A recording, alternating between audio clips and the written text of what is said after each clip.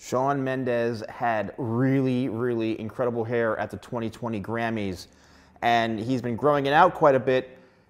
And I've been getting lots of requests for this haircut.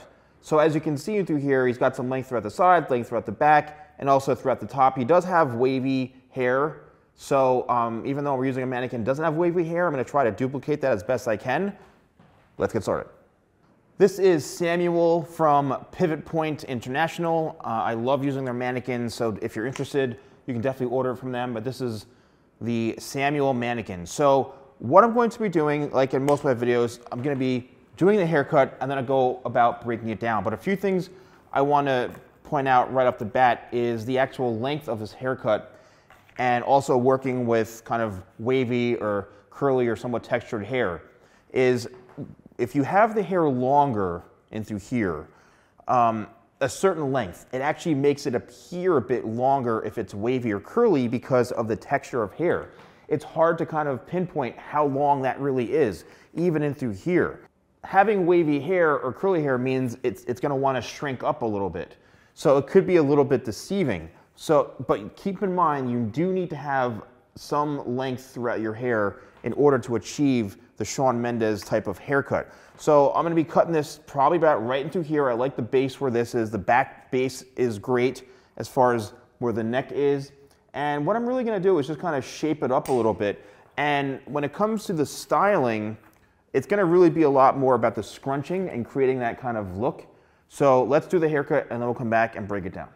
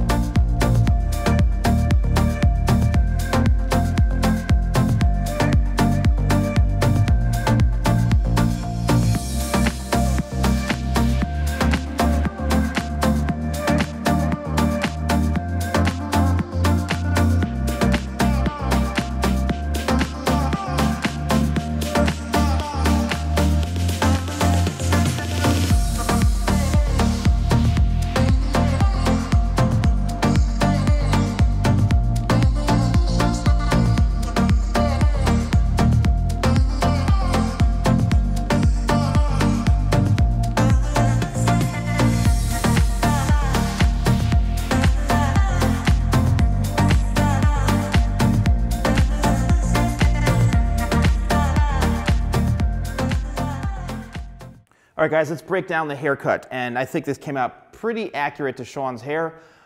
The first thing I want to bring out and mention is that, again, I left the existing length, which as you see on the sides is right kind of mid-ear, and the back is not necessarily long from the lengthwise down through here, but it's about, I'd say, an inch and a half to two inches long the most, right in through the interior shape, which is what's creating it to look a bit longer because we got more fullness. And again, if you have wavy hair or even curly hair, that's gonna make it look a bit longer because you're getting that added texture into here.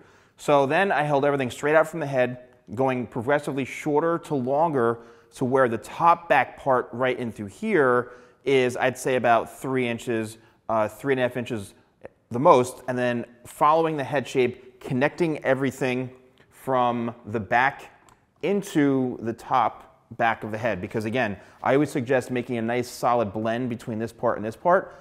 And then I continued the same thing, cutting the hair to where it's about three and a half to four inches long. Uh, kept that consistent, slightly longer in the front, I'd say about four and a half inches or so. And the sides, what I did is I actually created a bit of a square shape. Uh, I didn't round this out too much into here because I wanted to maintain some length throughout the top. So I cut it more square throughout here. And then uh, again, I blended it in with the bottom, holding everything straight out into here. And I went in and used my shears and just added a little bit of texture by point cutting. Now the unique part where everybody wants to know about the style. Now, if you do have wavy hair or curly hair naturally, this should be a breeze. I use my product Shadow because it goes in the hair very, very easily. I call it like a grit cream pomade. Uh, it doesn't really give the hair a lot, of, a lot, a lot of shine, but it makes it look very, very natural. It's great for a, a soft kind of feel. It doesn't have super strong hold at all whatsoever, but it's great for taming and controlling, especially curly hair. Scrunched it in. You guys saw. I literally put the product in and scrunched, and that was it. Especially throughout the back. That's going to be your best friend when it comes to styling. Put the product in, scrunch it, set it, and forget it. And then as it dries, it's going to create that kind of wavy or textured shape. I had a lot of fun doing this haircut. It's been a while since I've done some actual haircutting videos, and I've gotten lots of requests for Shawn's hair, and perfect timing because this hair looked awesome at the Grammys. You know, so I hope you guys enjoyed this. Again, it really comes down to the styling aspect of it. Less is more as far as trying to create this sort of shape. I got the, the look just by scrunching like this, scrunching my hands and, and scrunching the hair. That in itself creates texture and just let it air dry. And, you know, again, having the right length of hair and the right haircut is gonna really help you guys out. So let me know in the comments below if you enjoyed this. Don't forget to like, comment, and subscribe, and I'll see you next time for more videos with a salon guy.